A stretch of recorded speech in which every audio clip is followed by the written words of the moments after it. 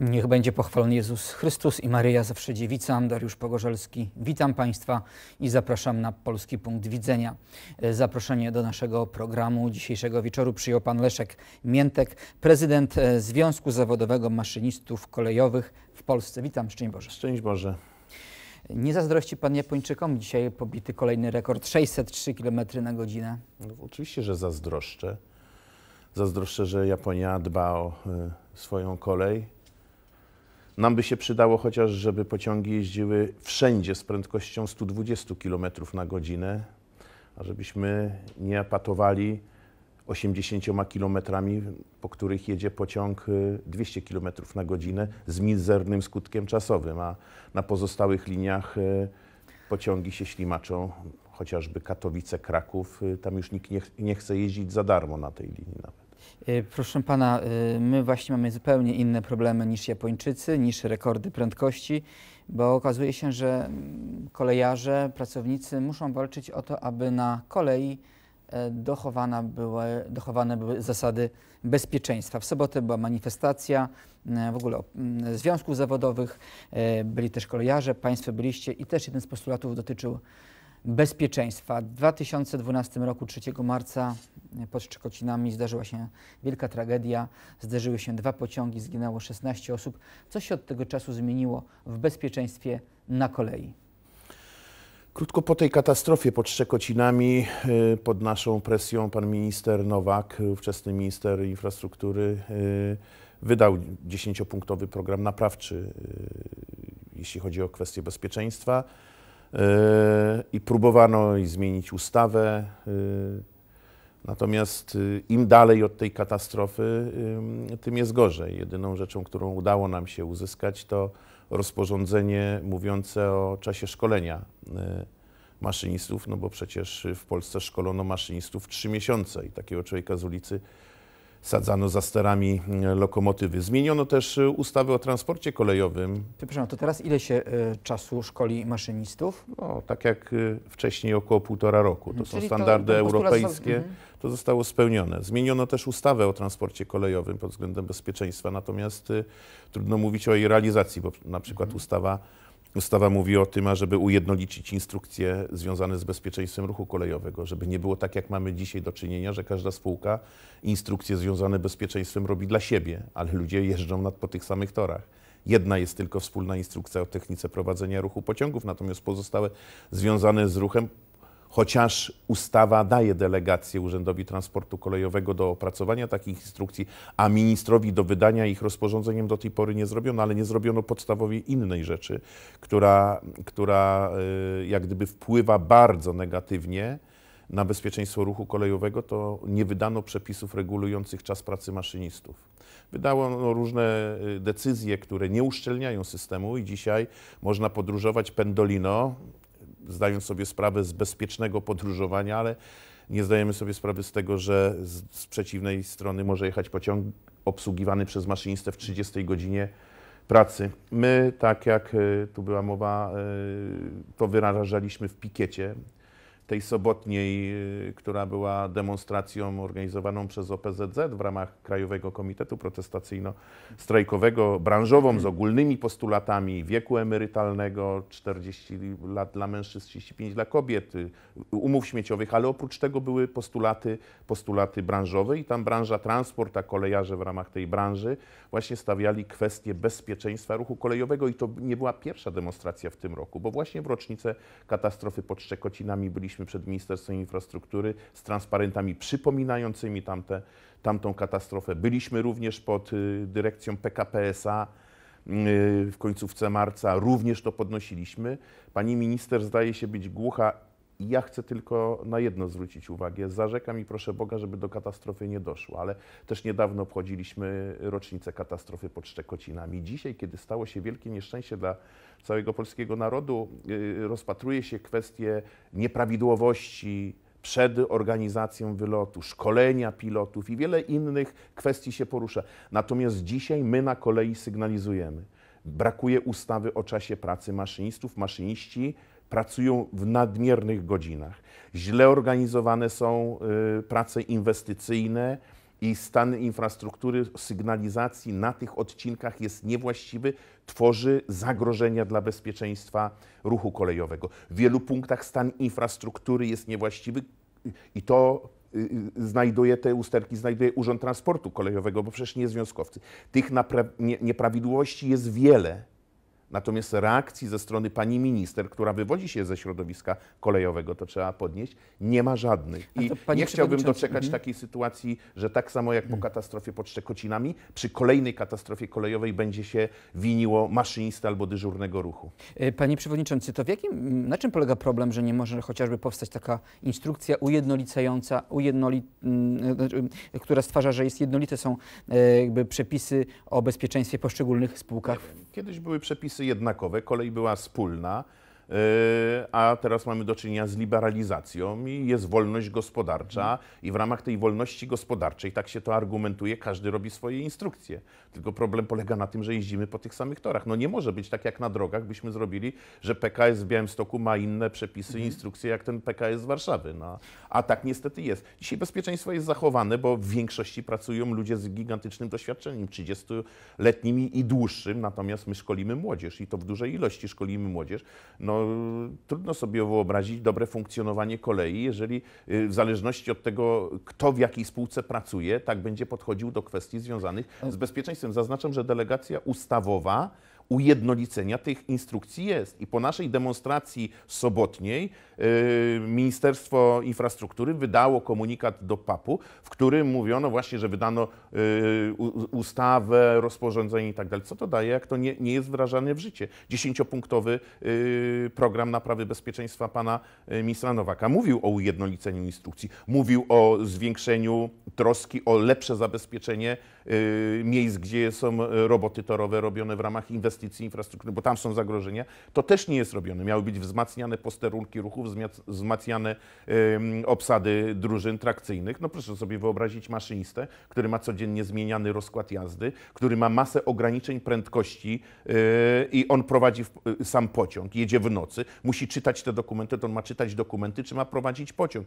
Nie ma tych wzmocnień, te zagrożenia są prowokowane. My sobie radzimy jak możemy, ale ale no, o nieszczęście jest blisko.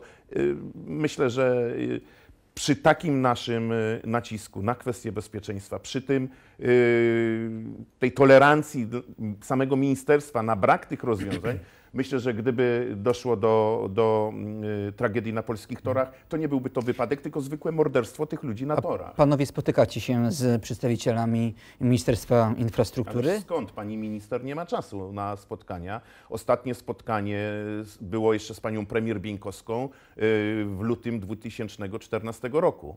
Pani minister Wasiak nie znalazła czasu na spotkanie ze związkami zawodowymi. Ale może któryś z wiceministrów się spotyka z, z, z?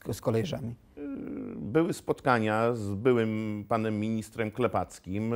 Pan minister Klepacki, który wszedł do resortu i tej kolei się trochę nauczył, został odwołany. Dzisiaj mamy nowego pana ministra odpowiedzialnego za kolej, y, no, który przyszedł z, z resortu finansów. No, trudno, trudno od niego oczekiwać, że natychmiast nauczy się y, funkcjonowania kolei. No, ale ma szefową, która wywodzi się z kolei, no ale ona zajmuje się chyba czym innym, bo na pewno nie kwestiami kolejowymi, bo te patologie, które y, są na kolei nie zostały naprawione, bo tutaj mówimy o kwestiach bezpieczeństwa, ale przecież y, y, podnosimy kwestie dużych patologii w obszarze przewozów regionalnych, no rozdrobnienia, no bo... ćwiartowania tego. Przecież dzisiaj mamy sytuację taką, że coraz więcej spółek kolejowych w województwach po, powstaje, ale to jest wprost odwrotnie proporcjonalne do ilości pociągów, które kursują. I mamy paradoks taki, że remontujemy polskie tory, a na na tych torach jeździ coraz mniej pociągów, bo nie ma na nie pieniędzy. Nie wystarcza pieniędzy, no bo pieniądze są przeznaczane na budowanie struktur spółek, rady nadzorcze, zarządy spółek. No mamy od nowego rozkładu jazdy nowy kwiatek w Małopolsce, spółka Małopolska powstała i prowadzi ruch pociągu od Krakowa do Wieliczki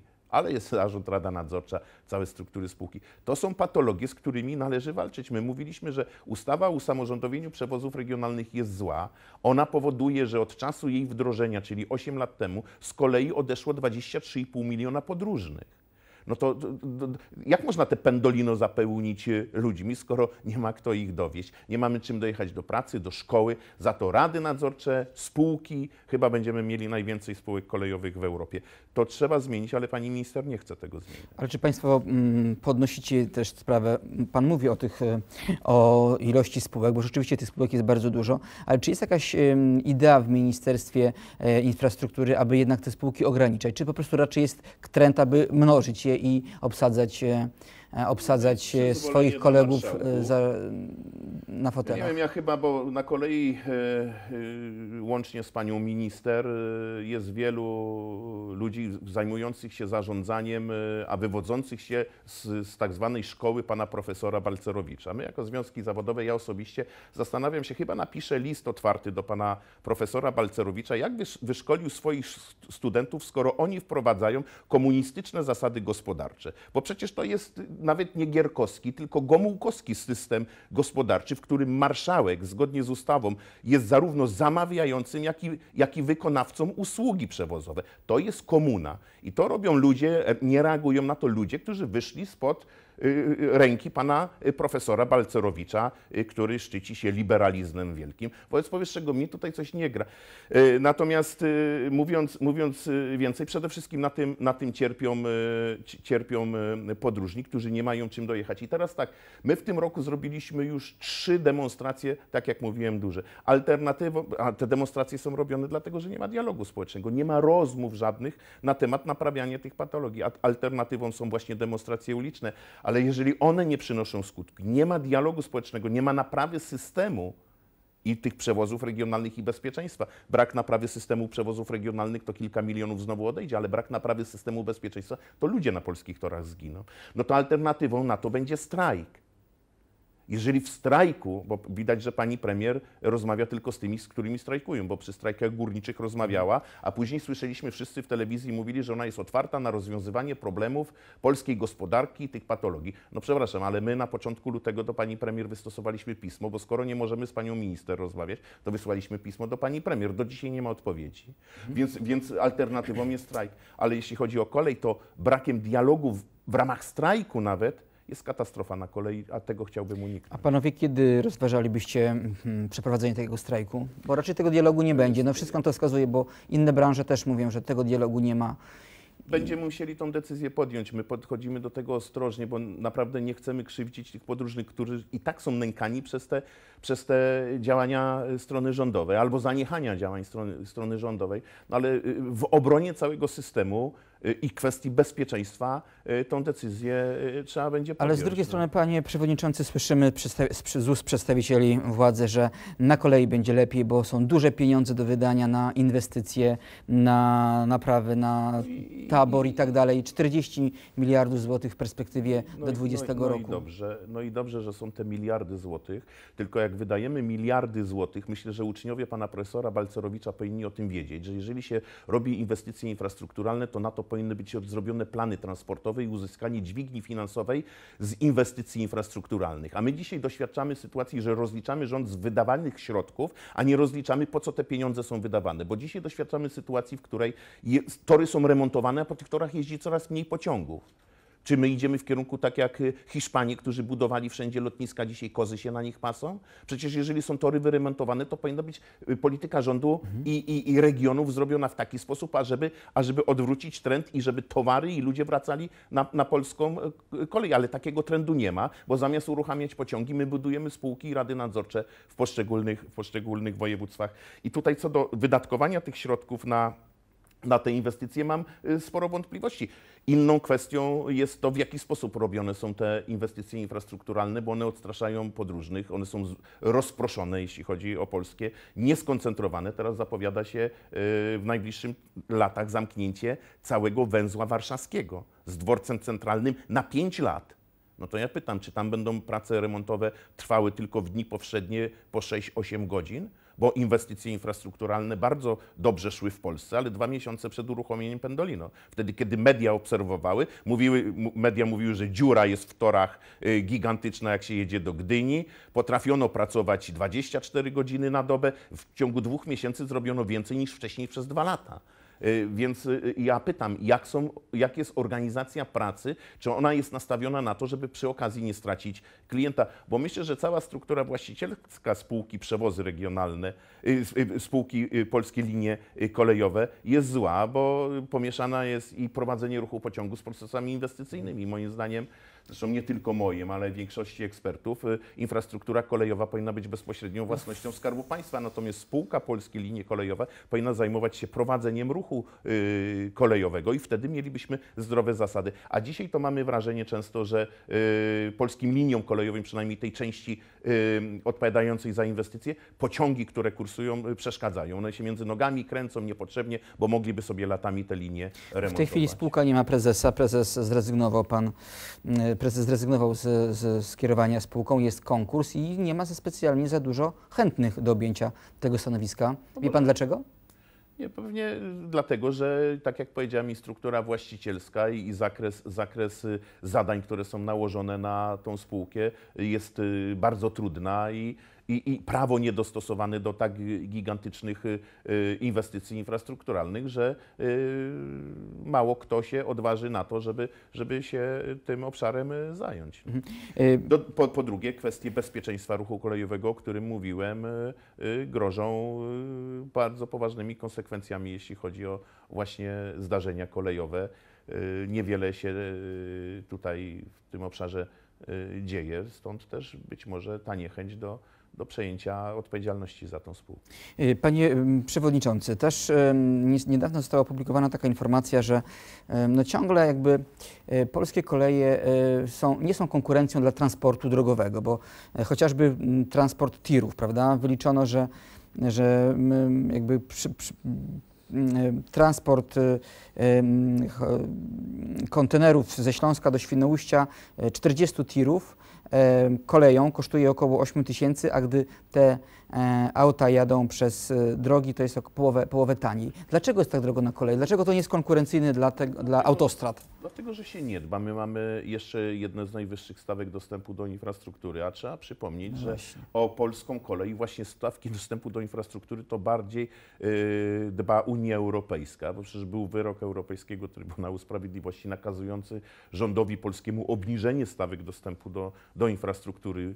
To wcale nie rząd polski to wymyślił, tylko właśnie Unia Europejska. Jeszcze te stawki dostępu do infrastruktury są wysokie, a przede wszystkim, tak jak mówię, rozgrzebane są polskie tory, ograniczenia ograniczenia mm, w ruchu pociągów. Remontuje się głównie linie magistralne, te w korytarzach transeuropejskich, a dużo mniej remontuje się linie y, potrzebne dla polskiej gospodarki. No, pociągi towarowe z Dolnego Śląska czy ze Śląska jeżdżą z prędkością 20-15 km na godzinę. No, to jest, to jest y, y, kolejna, kolejna przyczyna, że no, ta konkurencja jest międzygałęziowa mocno zachwiana, ale przede wszystkim tutaj są koszty dostępu do infrastruktury. Pana zdaniem z czego wynika ta ilość zaniechań e, na kolei, bo to one się ujawniają w różnych, e, w różnych obszarach. Czy to jest jakby szykowanie pola dla konkurencji, na przykład dla kolei niemieckich? Myślę, myślę, że e, coś w tym, w tym jest. Na pewno Niemcy bardziej dbają o swoją kolej. My cały czas myśleliśmy jako kolejarze, że my po prostu jako środowisko kolejowe nie mamy szczęścia do ministrów przechodzili, zmieniali się ci ministrowie i mówiliśmy, no nie mamy szczęścia, bo ten minister zanim się nauczy tej kolei, no to musi ze stanowiska odchodzić. No ale od września zeszłego roku mamy kolejarkę na stanowisku ministerialnym, konstytucyjnego ministra i niestety dalej się nic nie dzieje, a wręcz chciałbym powiedzieć, że jest gorzej, bo my przynajmniej pani premier Bieńkowska stwarzała pozory, że coś, coś chce zrobić. Uruchamiała pewne, pewne działania. No między innymi w lutym zeszłego roku yy, zostały, opracowany, zostały opracowane założenia ustawy o czasie pracy maszynistów. No ale od, od tych założeń od lutego zeszłego roku Mamy już następny rok i, i to po, połowę kwietnia. Nic się nie zrobiło, a pani minister Wasiak od września również w tej sprawie nic nie zrobiła.